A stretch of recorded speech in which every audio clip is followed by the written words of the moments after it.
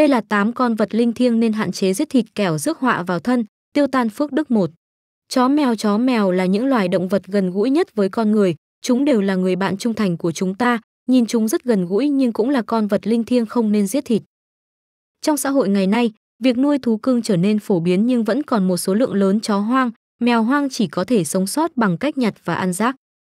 Nếu bạn có lòng từ bi, thi thoảng xin hãy để lại một ít thức ăn cho chó mèo hoang hoặc cưu mang chúng, làm như vậy bạn sẽ được kéo dài tuổi thọ và gia tăng phước lành.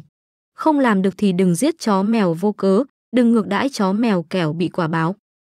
Còn đối với những người mất lương tâm, cố tình đầu độc rồi bán chó, mèo cho các quán ăn, nhà hàng kiếm lời thì sẽ bị trừng phạt, nhân quả không chừa một ai. Có thể bạn chưa biết, hiểu sao cho đúng, mèo đến nhà thì khó chó đến nhà thì sang. 2. Con rắn. Rắn trong tâm linh là con vật linh thiêng không nên giết thịt, nó có tính hay trả thù. Thù hận và ma lực của chúng đặc biệt mạnh nên quả báo của việc giết rắn và ăn thịt rắn thường tới rất nhanh, rõ ràng và nghiêm trọng. Có rất nhiều trường hợp giết rắn mà không rõ lý do, thần thánh cũng không thể bảo vệ được. Ví dụ, vào những năm 1980, có người đang xây nhà và đào móng thì bất ngờ đào được một ổ rắn, người chủ đã yêu cầu thợ xây giết hết ổ rắn, nhưng một con rắn trắng đã trốn thoát. Chưa đầy một tháng sau, đứa con gái 8 tuổi duy nhất của chủ nhà đột nhiên bị mất trí nhớ, phải đến bệnh viện điều trị trong vô vọng, không có kết quả tốt. Sau đó, người ta tìm thấy một vị đạo sĩ nọ để tìm ra cách chữa bệnh cho bé gái, vị đạo sĩ nói với chủ nhà rằng Nguyên nhân khiến bé gái mấy trí nhớ xuất phát từ con rắn trắng mà ra, con rắn trắng này là vua rắn. Bạn đã làm tổn thương con cháu của nó, nó làm tổn thương con cái của bạn, nó sẽ khiến bạn đau khổ trong phần còn lại của cuộc đời. 3. Con lươn, trạch.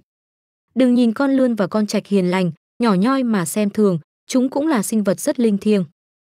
Việc làm tổn thương chúng sẽ gây ra hậu quả tương tự như làm tổn thương con rắn. Có câu chuyện kể rằng có một người mẹ đã từng tham khảo ý kiến của một thầy tử vi vì bất lực. Bà nói rằng đứa con 3 tuổi của mình bị còi xương và không thể đứng dậy được, luôn luôn phải bế trên tay dù đã lớn.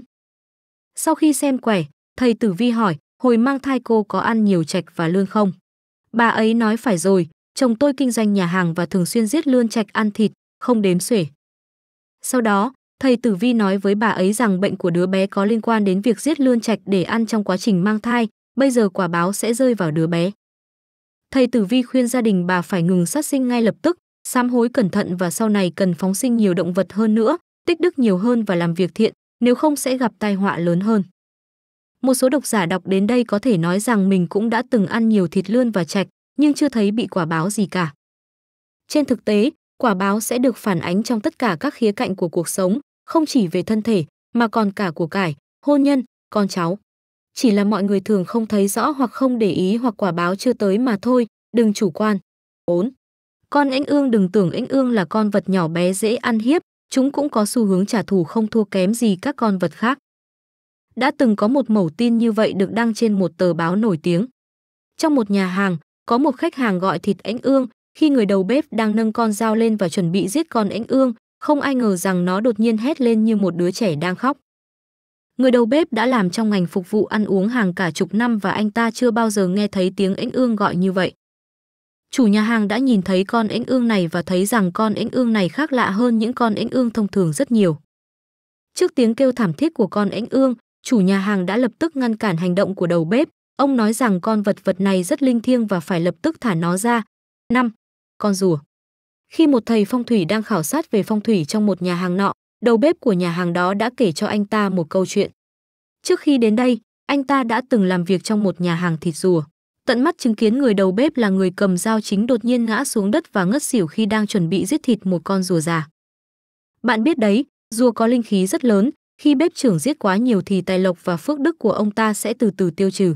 Lỡ gặp phải con rùa có ma lực, linh khí cực mạnh thì nó sẽ nhân cơ hội trả thù khiến đầu bếp gặp biến cố không ngờ. Vì vậy, đừng làm tổn thương chúng, Giá trị linh thiêng của chúng được biết đến qua hàng ngàn năm thậm chí lâu hơn.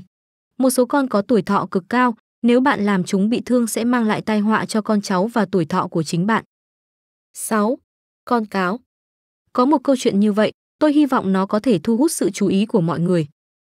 Chuyện kể rằng nhiều năm trước trong một gia đình có hai người vô tình giết một con cáo, con cáo bị giết là một con cái và đang mang thai ba con cáo con.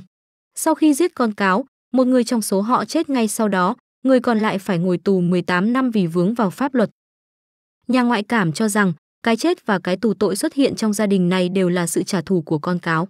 Gia đình này phải tích cực phóng sinh, làm việc thiện, nếu không tai họa lớn hơn vẫn còn đến trong tương lai. 7. Câu chuyện trả ơn của loài vật tâm linh Có rất nhiều ví dụ về sự giết chóc lẫn nhau giữa con người và động vật. Tiếp theo tôi sẽ kể cho các bạn nghe một câu chuyện nhỏ về việc động vật trả ơn con người. Vào thời nhà Tấn, có một cậu bé tên là Mao Bảo, nhà rất nghèo, vào mùa đông, khi đang chơi bên bờ suối, cậu thấy một người đánh cá vồ lấy một con rùa trắng và nói, con rùa trắng quý hiếm này hẳn là rất có giá trị, phải đem bán nó ngay. Cậu bé nhìn thấy con rùa trắng liền cảm thấy có chút thương hại rồi cầu xin người đánh cá thả nó đi. Cậu bé nhìn con rùa trắng nhỏ, con rùa trắng nhỏ cũng ngẩng đầu nhìn cậu bé, trong mắt tràn đầy vẻ cầu cứu, hóa ra vạn vật có linh hồn chứ không hề vô cảm. Vì vậy, cậu cởi áo khoác, quỳ xuống đất cầu xin người đánh cá buông rùa trắng ra, sẵn sàng dùng quần áo của mình để đổi lấy rùa trắng nhỏ. Người đánh cá thấy vậy đã đưa con rùa trắng nhỏ cho cậu bé và nói, chiếc áo này không có giá trị bằng con rùa, như lòng tốt của cậu đã làm tôi cảm động đến mức phải đưa nó cho cậu đó nha. Cậu bé vui mừng ôm con rùa trắng nhỏ trong tay và nói với nó, con đã được cứu rồi.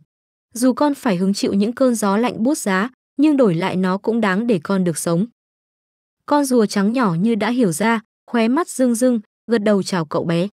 Cậu bé cẩn thận bế nó ra bờ sông và thả nó đi. Đúng 20 năm sau, cậu bé đã làm quan trong triều thường lập được những chiến công lừng lẫy trên chiến trường. Có lần anh ta dẫn quân của mình đi thám hiểm, quân của đối thủ rất mạnh nên đã bị bao vây đánh trả. Vào thời điểm sắp chết, anh ta đã mang theo những người lính còn sống của mình và chạy trốn đến sông Dương Tử. Vì chỉ có một chiếc thuyền bên sông, nhưng số lượng người chở rất hạn chế, anh ta cho quân lính lên thuyền trước, rồi tự mình nhảy xuống sông bơi đi. Khi đang vùng vẫy dưới dòng sông chảy xiết, trong lúc nguy cấp tột độ, một vật gì đó đã nâng anh ta lên khỏi mặt nước, rồi anh ta ngất đi vì kiệt sức. Khi tỉnh dậy, anh nhìn thấy một con rùa lớn màu trắng ở trước mặt và sau đó anh nhận ra rằng đó chính là con rùa trắng nhỏ mà mình đã cứu của 20 năm trước. Con rùa trắng lớn nhìn anh rơm rớm nước mắt như ánh mắt 20 năm trước. Một lúc sau, con rùa trắng to lớn miễn cưỡng bỏ xuống sông. Khi nó bơi về phía trước, nó tiếp tục nhìn lại anh, gật đầu với anh, như thể để biết ơn lòng tốt của anh.